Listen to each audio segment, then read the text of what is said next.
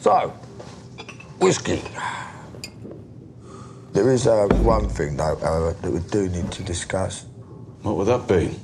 It says here 20% paid to me of your export business.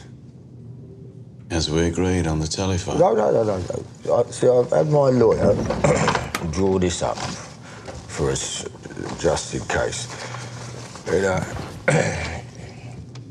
it says that here, here that 100% of your business goes to me.